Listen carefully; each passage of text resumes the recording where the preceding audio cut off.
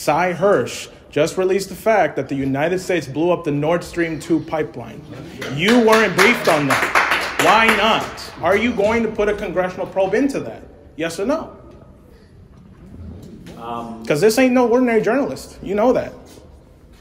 So, Oh. I want to hear what he has to say. Nord, Nord Stream, Nord Stream is a pipeline that transfers oil from Europe, particularly Germany, I'm sorry, from Russia to Germany. So we don't have the authority to investigate pipelines. All right, come on. Now that's bullshit. You know that. Victoria Nuland herself says she's happy that it's a pile of metal underwater. Do you share her sentiment? And it's the Navy it. Here's what we know. The Europeans are conducting an investigation, They investigated and it is true. It Why did Joe Biden say that we are going to get rid of the Nord Stream pipeline?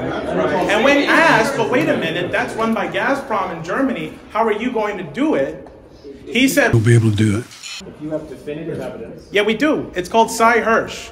then produce the evidence. He already He already did. produced the It evidence. already has Read the been article. Listen, this is this is Sy Hersh, Pulitzer Prize winning journalist. He is not going to publish something he can't prove. So unless you're naive enough and you don't know that, I'm here to inform you. I'm at least asking for congressional inquiry into whether or not it's true, because his credibility alone should prompt that, don't you think? The Europeans are conducting an investigation. We know the United States did this now.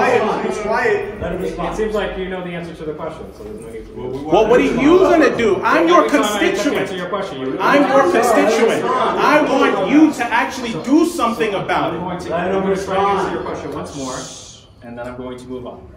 The Europeans are conducting. That's a non-answer. What are you doing? Because if the United States did this, you are gonna you, you have to hold them accountable.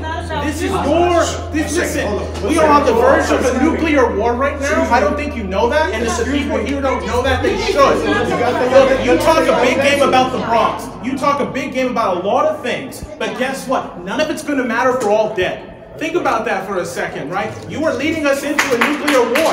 What's happening in Ukraine directly affects what's happening here. You don't think you're going to get us into a nuclear war? Is exactly how we get into a nuclear war.